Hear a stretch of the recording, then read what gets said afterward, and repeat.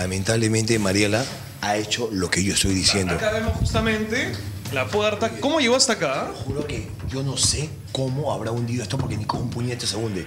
Ni yo podría, creo que se ha sacado el taco, el palo, habrá metido. Mira todo lo que ha hecho. Esos raspones, claro, son. O, o- o yo le voy a cerrar la puerta a mi esposa y le voy a decir, no quiero que entres, porque haga eso. Se- Está loca, Mariela. Mira todo lo que ha roto, compadre. Mira todos los vidrios. Ah, sí, ya está. Todo. O sea, se ha vuelto loca. Faridode escuchó atentamente la respuesta de Mariela Zanetti ante su denuncia por agresión y no tuvo reparos en defenderse con todo.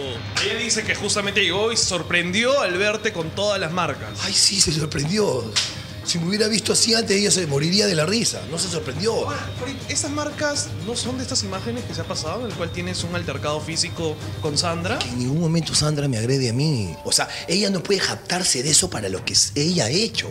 Eso ha sido el día siguiente. este. Ahora, tú también eres fuerte, Farid, como para no sujetarla bien y no permitir, porque mira, Dios, hasta el ojo está morado. Pero papi, papi, como, como, como tú dices, yo soy bien fuerte. Pero fuerte si sé que ella me va a venir a agredir. Pero yo no sabía que ella me va a venir a agredir. Es como si yo vengo acá, tú eres muy fuerte y yo, pa, pa, pa, pa, pa. Ya, cuando tú quieres reaccionar y estás noqueado. Farid también desmintió haberla cacheteado la noche del domingo. Ella dice que tú la llegaste a golpear, le tiraste un- una cachetada. Ella misma ha dicho, él jamás me ha levantado la mano. Ahora sí se la levanté después que ella me ha hecho eso. Ahora sí ella dice, ah no, ahora que yo ya le hice lo que le hice, mejor voy a decir que él también me la levantó.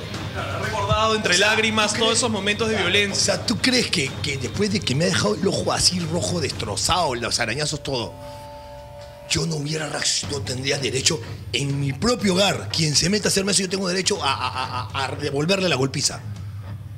Pero yo no lo he hecho. Si de algo no se le puede acusar es de ser un mal padre, y es por este motivo que considera injusto que Mariela le quite a su pequeña Yamile. Si ella cree que le está haciendo un bien a mi hija, por los problemas que ella y yo podemos tener, aduciendo de que mi hija no te vea, que piense un poquito esa señora y que se dé cuenta que el daño se le está haciendo a nuestra hija. Mira, yo no la voy a meter a mi hija en esto, pero mi hija se muere por estar con su papá cada vez que me llama. Yo le he comprado su celular a- últimamente en Navidad, mi hija me llama y me llama y está loca con llamándome, llamándome, llamándome. Lamentablemente, justo uno de esos días se le ha perdido su celular otra vez a mi hija. Mi propia hija Yamile me llamaba por teléfono hace unos días y me decía, papá, quiero irme a vivir contigo, quiero irme a vivir contigo. Le dice, pero ¿qué te pasa? Yo he tenido que ir a la casa de Mariela, sentarme con mi hija y hablar con ella y decirle, ¿qué te pasa? ¿Por qué estás tratando así a su mamá? Tu mamá se, se saca el ancho por ti y esto que lo otro, y tú estás así. Ent- ent- Traté de calmar a, a mi hija con, con, con Mariela. Ahora, con respecto a esto, no, mi hija jamás me ha visto a mí que yo le he dicho, Yamile, por favor, pórtate bien. Entonces, eso a mi hija, no. Ah, entonces quiero que venga mi mamá, quiero que venga mi mamá. Bueno, ok. Mariela, tu hija se está portando muy mal. Ya, dice que yo he insultado a mi hija.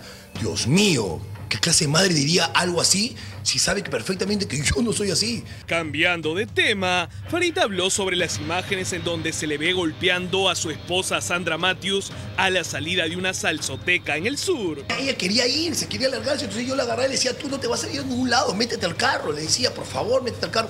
Entonces, entonces en ese momento realmente tenía un problema con ella que la verdad no justifica nada. O sea, la verdad que yo con ella lamentablemente estamos pasando una situación muy difícil y cual yo la voy a arreglar porque, Samuel, yo no soy una persona agresiva, jamás lo he sido.